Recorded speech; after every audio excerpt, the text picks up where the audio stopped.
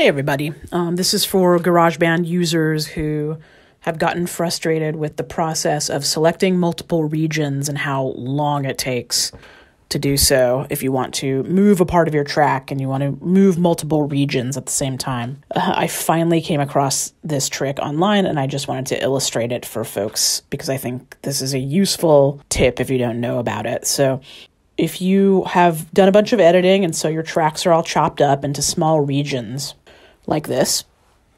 And you want to like insert something there in the middle and you need to move all the regions. If you just move one region you're going to smash the other regions and you're going to distort your recording what you've got. So what i've been doing the last year and a half is individually selecting every tiny little slice every tiny little region of the track in order to um, select the tracks that i need to to move them. And unless your tracks are big enough. When you manually select them, you're at peril of missing a tiny little slice.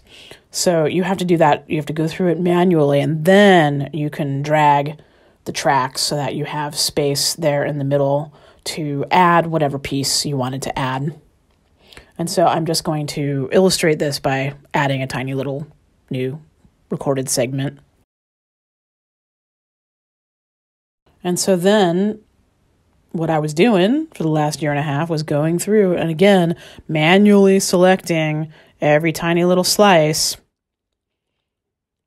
so that I could move the regions of those two tracks back in place. But now I'm going to show you a much quicker technique. It is selecting the whole dang thing all at once by just clicking and dragging. And maybe you already knew this.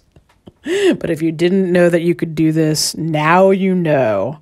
You can select multiple regions just by dragging through the whole area, and now you have one highlighted multiple region area that you can move around as much as you want. And there you go. That's the tip.